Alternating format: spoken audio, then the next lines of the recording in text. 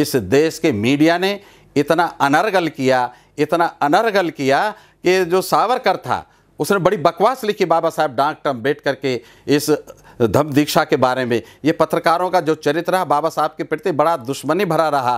तो बाबा साहब को भी उसका जवाब जब दिया ना बाबा साहब ने क्या भाषा बोली? कि शाहू जी महाराज का बाबा साहब बहुत एहसान मानते थे और ये एक व्यक्ति की बहुत बड़ी विशेषता होती है कि वो किस, किसी द्वारा किए गए उपकार के प्रति कृतज्ञ हो। बाबा साहब में ये भाव कूट कूट कर भरा था। अब आप ये देखें कि एक शाहू जी महाराज के एक परिवार का सदस्य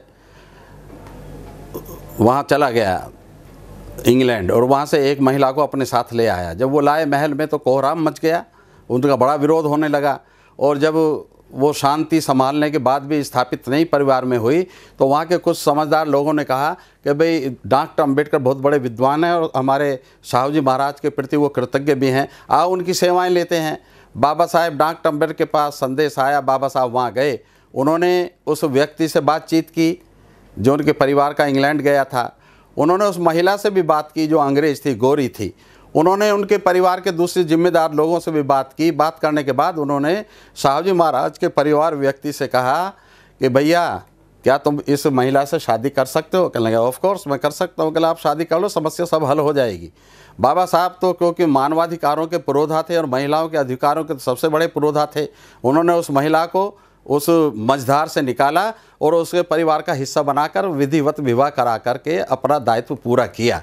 ये बात आई गई, हो गई। मगर करीब चार पाँच साल बाद एक बार बाबा साहब दादर हिंदू कॉलोनी में जो उनका अपना महल जैसा मकान था ना, राजगृह, रात को कोई दो बजे दरवाज़ा खटका, क्योंकि बम्बई नगरी ऐसी है, सारी रात चलती है, उसको लिविंग सिटी बोलते हैं। जब दरवाज़ा खटखटाया तो बाबा साहब ने दरवाज़ा खोला और वो दंग रह गए कि इतनी रात को एक जवान अंग्रेज़ महिला उसके दरवाजे पर खड़ी है और बाबा साहब से कह रही है कि मैं वहाँ से लड़कर आई हूँ और मैं वहाँ वापस जाऊँगी नहीं। Mister Ambedkar I like you like anything I love you my darling you are my darling now Baba Saheb ने उसकी ये बातें सुनी, ये क्या कहे जा रही है? मेरे समझ में कुछ नहीं आ रहा। तो बाबा साहब को उसने बोला कि मैं अब अब आपके घर में ही रहूँगी। आप मुझे पत्नी बना के रखो या कुछ भी बना के रखो, मैं वापस नहीं जाऊँगी। बाबा साहब तो विदुर थे ना, उन, उनकी पत्नी मर चुकी थी, घर में कोई था नहीं। मगर वो इस बात के प्रति बड़े सचेत थे कि जिस तरीके से एक बूढ़ा व्यक्ति अपनी इकलौते बेटे की जान पर खेल कर भी उसकी रक्षा करता है, ऐसे बाबा साहब ने अपने चरित्र की रक्षा की। उन्होंने रात में ही उसको लताड़ा और उसको समझा बुझा के वहाँ से वापस भेज दिया। ये बाबा साहेब डॉक्टर अंबेडकर का चरित्र था। तो साथियों हम बाबा साहेब डॉक्टर अंबेडकर के इस चरित्र के बारे में जो चर्चा कर रहे हैं, वो इसलिए कर रहे हैं कि बाबा साहब का ये मानना था। उन्होंने कहा, कई जगह कहा है कि मैं इसलिए संभल के चलता हूँ कि मैं बदनाम ना हो जाऊँ और अगर कोई नेता बदनाम हो जाता है, वो अपनी समाज का भला कर नहीं सकता। आज हमारे समाज के नेताओं में बदनाम होने की होड़ लगी हुई है। एक अकेले इस अंधकार भरे नक्षत्र भरे, अंधकार भरे इस आकाश में एक अकेले ध्रुव के तारे हमें हमारे बाबा साहेब डॉक्टर अंबेडकर नज़र आते हैं कि जो चरित्र के मामले में सबसे ज़्यादा सतर्क थे। उन्होंने अपने जीवन में जो सबसे बड़ा दंश झेला वो ये झेला पत्रकारिता क्यों की? कि यहाँ का जो पत्रकार जगत था बड़ा बदमाश। एक बार बाबा साहब अपनी पत्नी को लेकर 1948 की बात है सविता अंबेडकर बाबा साहब उनका एक कुत्ता और उनका एक साला। ये जो ओखला है ना जी जी जी। और ओखला पर जो एक नहर के किनारे एक छोटा सा पिकनिक स्पॉट अब है वो बाबा साहब के ज़माने में प्राइम पिकनिक स्पॉट होता था सबसे मुख्य है। तो बाबा साहब वहाँ गए, वहाँ जाके उन्होंने फिशिंग की। फिशिंग करने के बाद उन्होंने मछली बनाई और खाई और घर आ गए। अगले दिन का अखबार जब देखा तो उसमें एक हिंदुओं के अखबार ने लिखा था हिंसा का बैठ कर वो ओखले में आया, मछलियाँ मार के खाई। तो वहाँ पर एक चांदी वाला पत्रकार थे, बहुत बड़े। बाबा साहब के प्रति उनका बड़ा लगाव था और अक्सर अपने प्रेस आते जाते बाबा साहब से मिलके जाते थे। जब वो आए ये एक हार्डिंग एवेन्यू जो आज पटियाला हाउस है ना उसके सामने कोने वाली कोठी जो टूटी पड़ी है उन तोड़ इसलिए दी कि उनको पता कि अम्बेडकरवादी इसको भी ना मांग लें। तो वो टूटी पड़ी है उस कोठी की ये बात है। तो सविता अंबेडकर ने कहा ए चांदी वाला इधर सुनो इधर ध्यान दो। ये तुम्हारा अखबार क्या क्या लिखता है? और डॉक्टर अंबेडकर ने दो मछली पकड़कर मार के खा लिया तो डॉक्टर अंबेडकर हिंसक हो गया। तुमको बताऊँ ब्राह्मण क्या क्या खाया है? बताना पड़ेगा क्या? आज भी जाओ, वहाँ पर बंगाल में हर एक बड़े आदमी के पास, चाहे वो ब्राह्मण है, चाहे आप ब्राह्मण है, अपने घर में उसके एक कुंड ज़रूर मिलेगा। पानी का एक जोड़, जलकुंड, बावरी, पुष्करणी ज़रूर मिलेगी। बड़ा नहीं मिलेगा, छोटा मिलेगा। उसमें मच्छी पालते हैं। मच्छी काय के लिए पालते हैं? खाने के लिए पालते हैं। अरे, वहाँ तुम सारे ब्राह्मण मछली खा रहे हैं डॉक्टर अंबेडकर का तुम हिंसक कहते हो। तो बाबा साहब, इस बात से बड़े सचेत थे। जब बाबा साहब से ये कहा गया ना कि बाबा साहब आप बिस्कुट और डबल रोटी खा खा के अपने दिन पूरे करते हो, क्यों नहीं अपने घर में एक नर्स रख लेते? उन्होंने यही कहा था कि अगर मैं घर में नर्स ला के रख लेता हूँ, इस देश का मीडिया मुझे बदनाम कर देगा और मैं बदनाम नहीं होना चाहता, क्योंकि बदनाम लीडर अपनी कौम का भला नहीं कर सकता। ये बाबा साहेब डॉक्टर अंबेडकर इस देश के मीडिया ने खून के आँसू रुलाया। बाबा साहेब डॉक्टर अंबेडकर ने जो क्या महसूस किया? बाबा साहब बोलते कुछ थे और यहाँ के प्रेस वाले लिखते कुछ थे। बाबा साहब 1948 में लॉ मिनिस्टर की हैसियत से लखनऊ गए। लखनऊ में उन्होंने एक भाषण दिया। भाषण जो दिया, वो तो उन्होंने लिखा नहीं, कुछ और अपनी तरफ़ से काल्पनिक लिख करके उसकी शिकायत कर दी। जी बी पंत से गोविंद वल्लभ पंत जो चीफ मिनिस्टर थे चीफ मिनिस्टर को बुरा लगा, उन्होंने वो भेज दी पटेल जी के पास। पटेल जी ने वो लेटर भेज दिया नेहरू जी के पास। नेहरू ने वो लेटर भेज दिया बाबा साहेब डॉक्टर अंबेडकर के पास। बाबा साहेब, डॉक्टर अंबेडकर ने उस वक्त प्रेस को कितनी लताड़ लगाई है कि ये मेरे पीछे, शुरू से मेरे पीछे लगे हुए हैं। कारण क्या है कि मैं अपने लोगों को भला करना चाहता हूँ। ये हमारे लोगों का खात्मा करना चाहते हैं, उन्हें अधिकार नहीं देना चाहते हैं। उनकी जो भी लड़ाई लड़ेगा तो वो डॉक्टर अंबेडकर को या कोई और हो, ये उसको परेशान करेंगे, परेशान करते हैं। ये इसलिए मुझे इन अखबारों की कोई चिंता नहीं है। ये अखबारों की वजह से मैं अपना आंदोलन नहीं चला रहा हूँ। ये मेरे खिलाफ कितने जहर उगलें, जितना ये मेरे खिलाफ जहर उगलेंगे, उतना ही मैं अपने लोगों के प्रति ईमानदारी से आगे बढ़ता रहूँगा। तो बाबा साहेब डॉक्टर अंबेडकर ने कभी भी हाथ नहीं फैलाया। वो उन्होंने कभी किसी प्रेस वाले से यही नहीं कहा, तुम मेरा, ये स्टेटमेंट है, इसको छाप दो। उन्होंने कभी ये नहीं कहा, तुम मुझे अपने अपने पेपर में मुझे स्थान दे दो। मगर फिर भी इतना बाबा साहेब डॉक्टर अंबेडकर को स्थान मिला, दुनिया के प्रेस में उनको स्थान मिला, बाबा साहेब डॉक्टर अंबेडकर को। जब बाबा साहेब डॉक्टर अंबेडकर को डी लिट की उपाधि मिली, कोलंबिया विश्वविद्यालय से, अमेरिका से, जो दुनिया का सबसे बड़ा विश्वविद्यालय है उन्होंने देखा कि यार हमारे यहाँ से जो एक व्यक्ति तालीम लेकर के गया भारतवर्ष का, उसने संविधान लिख दिया। वो संविधान भारतवर्ष का नहीं था, वो दुनिया की सबसे बड़ी डेमोक्रेसी का था। वो संविधान कोई असाधारण साधारण संविधान नहीं था, असाधारण संविधान था। क्यों? कि दुनिया के सब संविधानों में सबसे बड़ा संविधान था। उन्होंने अपने उस शिष्य को सम्मानित करने का फैसला किया। उन्होंने अमेरिका बुलाया। अमेरिका जाने से पहले बाबा साहेब डॉक्टर अंबेडकर को नेहरू ने बुलाया। नेहरू ने कहा कि डॉक्टर अंबेडकर साहब, आप अमेरिका जा रहे हैं, आप हमारे देश की छवि का ख्याल रखना। बाबा साहब ने कहा था you are mistaken mister Nehru, आप गलती पर हैं।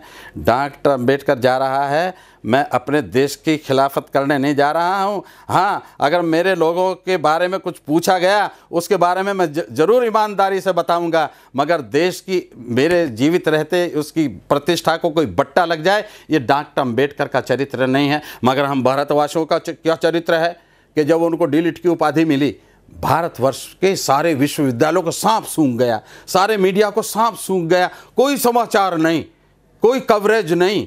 कोई बाबा साहेब डॉक्टर अंबेडकर को दुनिया का सबसे बड़ा सम्मान मिलने का वर्णन नहीं। इस भारतवर्ष की किसी भी विश्वविद्यालय ने उनको कोई सम्मान नहीं दिया। एक उस्मानिया यूनिवर्सिटी जो हैदराबाद में है वहाँ से ज़रूर उनको एक उपाधि मिली। हम उनके प्रति कृतज्ञ हैं। ये मुसलमानों को गाली देते हैं। मुसलमानों के खिलाफ हमारे बच्चों को भड़काते हैं और बच्चों को उस भड़काव में उनके अधिकारों पर डांका डालते हैं। उन बच्चों को तो बेचारे शरीफ है, उनको तो पता नहीं रहे कि तुम्हारे साथ छल कपट कर रहे हैं। मगर जिस व्यक्ति को पता है, मैं छल कपट कर रहा हूँ, फिर भी वो छल कपट करता है तो पाप का भागी वो है। उसका, उसको भुगतना पड़ेगा। तो बाबा साहेब डॉक्टर अंबेडकर ने अपने जीवन में जो चार पत्र पत्रिकाएँ निकाली वो एक बहुत बड़ा आंदोलन खड़ा हो गया। मुझे बहुत अच्छी तरह याद है। हमारे घर तो महाराष्ट्र के लोग बहुत पहले से आ जा रहे हैं क्योंकि मेरा परिवार बाबा साहब के बहुत निकट रहा। ये मेरे जीवन की महान उपलब्धि है कि मेरा नाम भी मुझे बाबा साहब ने रखा। तो मैं जानता हूँ कि एक ऐसा अवसर बन गया था। महाराष्ट्र के गाँव गाँव में बड़े बड़े पेड़ के नीचे लोग बैठे रहते थे। बाबा साहब का अखबार आएगा, बाबा साहब का अखबार आएगा। और जब बाबा साहब का अखबार आता था, लोग उसके खुशी के मारे झूम लगने जाते थे, बाबा साहब की जय जयकार करने लगते थे और अखबार आते ही तुरंत उसको पढ़ के सुनाना शुरू कर देते थे। क्योंकि पढ़े लिखे बहुत कम थे, अनपढ़ ज़्यादा थे, जो अनपढ़ थे, उन्हें भी समाचार पता चले ना। एक समाचार पत्र ने बाबा साहेब डॉक्टर अंबेडकर के आंदोलन को घर घर तक कैसे पहुँचाया? वो इस घटना से पता चलता है। सब इंतज़ार में रहते थे। बाबा साहेब डॉक्टर अंबेडकर के समाचार पर क्यों? कि रेडियो पर तो स्वामी भक्ति चलती थी। अंग्रेज़ों के प्रति, रेडियो पर तो बाद में स्वामी भक्ति चलती थी, कांग्रेस के प्रति। हमारा तो इस देश के मीडिया को अब आज भी उठाकर देख लो। इस देश के समाचार पत्रों को, पत्र पत्रिकाओं को, जो जनरल हैं तथा कथित मुख्य धारा के पत्र पत्रिकाएँ हैं, उसमें आज भी ये देख के ये पता चलेगा, इस देश में बौद्ध रहते ही नहीं हैं। इस देश में अम्बेडकरवादी रहते ही नहीं हैं। तो ये, इस उपेक्षा को हम कैसे तोड़ सकते हैं? हम अपने पराक्रम से तोड़ सकते हैं। कैसा पराक्रम? जैसा बाबा साहेब डॉक्टर अंबेडकर ने करके दिखाया था। बाबा साहब बड़े तत्पर थे। जितने भी काम उन्होंने अपने जीवन में किए, जान हथेली पर रख करके किए। उनको ये पता होता था, ये तो अब उन्होंने जब धम दीक्षा की चौदह अक्टूबर को नागपुर में तो वहाँ खुला चैलेंज आरएसएस की तरफ़ से आ गया हम डॉक्टर अंबेडकर को मार देंगे। मैं धन्यवाद करता हूँ उस श्रीलंका के पूज्य भलते एच सद्धा तिस्सा को। डॉक्टर एच सद्धा तिस्सा बहुत बड़े भिक्खू थे, बहुत बड़े विद्वान भिक्कू थे। जब बाबा साहेब डॉक्टर अंबेडकर की दीक्षा हुई थी चौदह और पंद्रह अक्टूबर उन्नीस सौ छप्पन को नागपुर में तो वो बीएचयू में, सारनाथ में पाली पढ़ाते थे। और बाबा साहब के फेवरेट मॉन्क थे। वो आ गए, अपना सीना खोल के आ गए और आरएसएस के मंच के बाहर जाकर के बोले कि डॉक्टर अंबेडकर हमला करने वालों, पहले तुम्हें इस बनते एच सद्दा तिस्सा के सीने में गोली उतारनी पड़ेगी। बाद में बाबा साहेब डॉक्टर अंबेडकर तक तुम जाओगे। मगर बाबा साहेब डॉक्टर अंबेडकर के चाहने वालों ने, मानने वालों ने, उनके अनुयायियों ने, जो मार्ग घोषित किया था बाबा साहब के आने का, वो उस मार्ग से उनको लाए नहीं। एक अंडरग्राउंड मार्ग चटाइयों से ढक करके बनाया था, वो उससे लेकर के वहाँ पहुँचे थे। क्यों? कि उन्होंने धमका दिया तो इसका मतलब नहीं, हम उनकी धमकी में आ जाएँ, मगर अपनी सुरक्षा का इंतज़ाम करने का तो हमको पूरा अधिकार है ना? तो बाबा साहब जब वहाँ पहुँचे, और वो धम दीक्षा संपन्न हुई, इस देश के मीडिया ने इतना अनर्गल किया इतना अनर्गल किया कि जो सावरकर था, उसने बड़ी बकवास लिखी बाबा साहब डॉक्टर अंबेडकर के इस धम दीक्षा के बारे में। ये पत्रकारों का जो चरित्र रहा, बाबा साहब के प्रति बड़ा दुश्मनी भरा रहा। तो बाबा साहब को भी उसका जवाब जब दिया ना, बाबा साहब ने क्या भाषा बोली? बाबा साहब ने ये भाषा बोली यार देखा, इस बामण के बच्चे सावरकर को हमारे खिलाफ अपने मुँह से क्या पखाना उगला है? ये बाबा साहब के शब्द थे। ये क्यों क्यों कहना पड़ा? क्योंकि वास्तविकता थी। अरे तुम पानी को पानी आग को आग कहो ना। तुम बाबा साहेब डॉक्टर अंबेडकर की उपलब्धियों को तुम बताते नहीं। बाबा साहेब डॉक्टर अंबेडकर को तुम जो है सहयोग करते नहीं और उनका हमेशा खिलाफ करते रहते हो। बाबा साहब ये चाहते थे।